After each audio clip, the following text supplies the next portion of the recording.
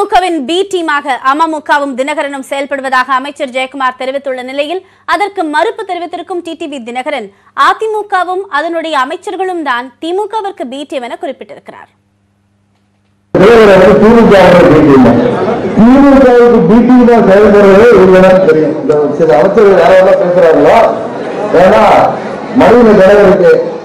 வந்து திமுக அவர் வந்து யார் பக்கம் இருக்கிறான்றதுக்கு இப்போ வந்து சமீபத்தில் தேனி மாவட்டத்தில் ஒரு எலெக்ஷன் நடந்தது. உங்களுக்கு தெரியுமா தெரியாதா? தெரியுமா தெரியாதா? அதுல யார் சப்போர்ட் பண்ணி ஜெயிக்க வச்சா? திமுக ஊராட்சி மன்ற தலைவராக வர்றதுக்கு? திமுக, அமமுக. ஆ அப்போ நான் சொன்னது கரெக்ட் தானேப்பா அப்போ? நான் ஆல்ரெடி நான் என்ன சொன்னேன் நான்? பி டீம் வந்து திமுக பி டீம் யார்? டிடிவி அமமுக. அது உண்மையாச்சா இல்லையா? அதான் உண்மை. திமுகவுடைய பி டீம் அவர் தான் அவர் தான் வந்து எல்லாத்துக்குமே வந்து திமுக எந்த வகையிலாவது வந்து நம்ம வந்து ஆட்சிக்கு வரணும்னு துடியாக துடிக்கிறவர். ஆனால் கண்டிப்பாக அவர் என்ன தான் துடியாக துடித்தாலும் சரி ஒன்றும் நடக்க போகிறது கிடையாது.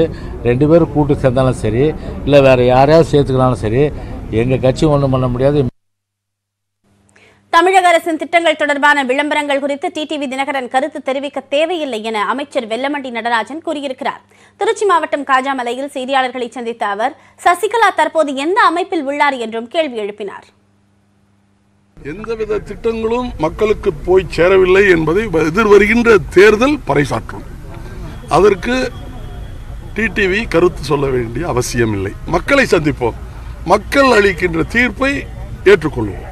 தனி நபர்களை பற்றி நான் விமர்சனம் செய்ய வேண்டிய அவசியம் இல்லை அவர்கள் முதலில் எந்த இயக்கத்தில் இருக்கின்றார் என்பதை தெரிந்து கொண்டு அதற்கு நான் கருத்து சொல்ல விரும்புகிறேன்.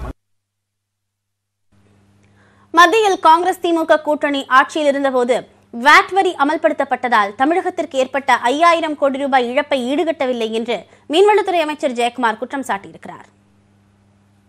சேல் டேக்ஸ் இருந்து வேட்டை வந்தப்போ அப்போ காங்கிரஸ் திமுக இருந்தது அப்போ வேட்டுக்கு நம்ம மாறணும்.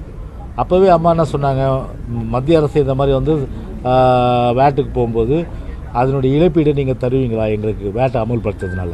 அப்போ அவங்க என்ன சொல்லிட்டாங்க நாங்கள்லாம் வந்து எவ்வளோ மாநிலத்துக்கு இழப்பீடு ஏற்பட்டாலும் நாங்கள் தந்துடுவோம்னு சொன்னாங்க. ஸோ நம்ம அதை நம்பி வேட்டுக்கு போகணும் வேல்யூ டேக்ஸுக்கு வேல்யூ டேக்ஸ் போன பிறகு அஞ்சாயிரம் கோடி ரூபாய் வந்து நிலுவையாச்சு. இதே மாநில சுயாட்சியின் வாய்க்கிலேயே திமுக தலைவர் ஸ்டாலின் கத்துறாரு.